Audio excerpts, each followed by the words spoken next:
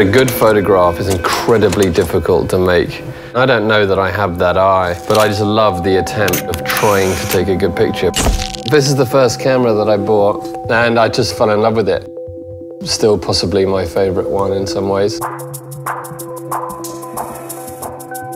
I have a love of the authenticity of photography. It's a very pure experience. It can encapsulate so much more than the eye can see. It's not just an image of a piece of clothing or a person in a piece of clothing. It tells a bit of a story and it, it provokes some sort of emotion. Rag and bone is a state of mind, and I think black and white photography represents that beautifully.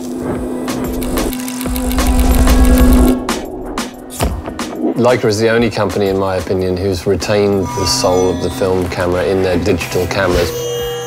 The Monochrom was a personification of that mindset. The idea of offering a camera that only takes black and white pictures, it's genius.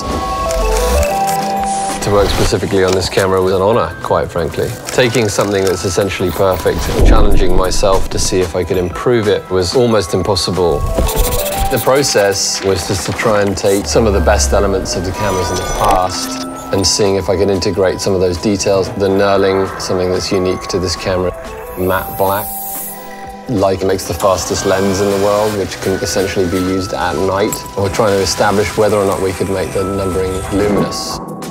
It's an investment. I could hand these down to my kids things that are made should be made to function, and they should be made authentically, and they should be made to feel real, and they should have a soul. And I think that we share that with Leica.